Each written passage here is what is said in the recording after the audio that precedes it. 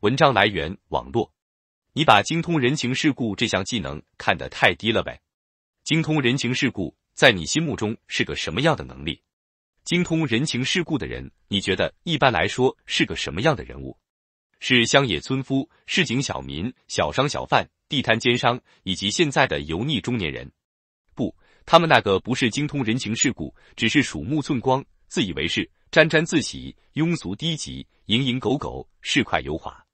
绝大部分人都是极端的自私自利和目光短浅的，只能看到眼前，别的什么都忘了，贪婪忘性，利令智昏，自取灭亡。为什么大部分人都这么低级又洋洋自得，还没灭亡？因为他们所得到的利益还不够大，利益大了就会自取灭亡。举个例子，《水浒传》里有个著名人物叫阎婆惜，阎婆惜是市井卖唱女，按理这种职业应该非常精通人情世故吧。但是他和宋江是怎么相处的？他当时被宋江包养，无意间看到梁山贼寇给宋江的信，信里说送了黄金，他立刻就要金子。宋江说拿不出来这么多钱，不依不饶，然后又要宋江八抬大轿明媒正娶，宋江全部都答应了，唯独宋江说拿不出这么多现钱，给一个月时间筹钱，他不依不饶，一定要当场给，不给就叫唤，要报官，造反是诛九族的大罪。宋江无奈。只能当场把他杀了。利令智婚的事情不在少数，我家乡也有县长小三跟县长要分手费，数字高昂，结果县长直接安排人把他骨灰都给扬了。县长后来被抓了，事情暴露了。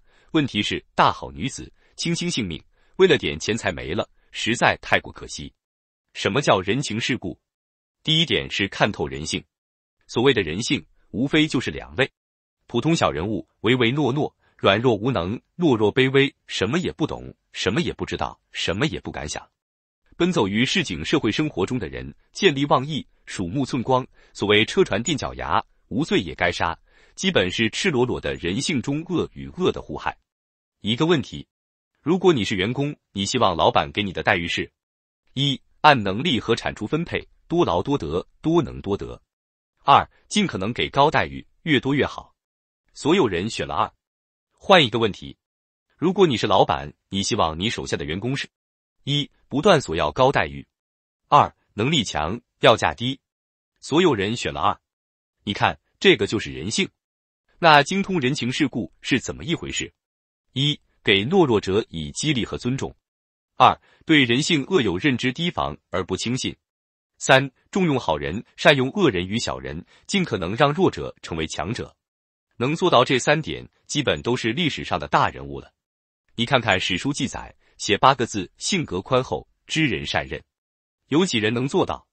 不要说你的爷爷奶奶，就很多名士大人物也做不到。不要觉得精通人情世故是什么低端知识、低端技能。如果你用人情世故、用市井社会看待这个学问，就显得很油腻低级。但如果你用博弈论、心理学、行为学，经济学、社会学、人类学的角度看待这门学问，你会发现它就精深无比。想掌握这门技能，建议还是多接触后者的知识比较好。